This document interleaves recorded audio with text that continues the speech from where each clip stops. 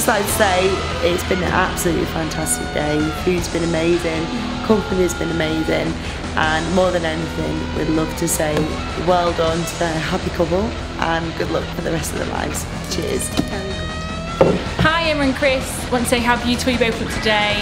Um, I know that I live far away, so I don't get to see you both much I like, but I love you both so much and I wish you all the luck in the world.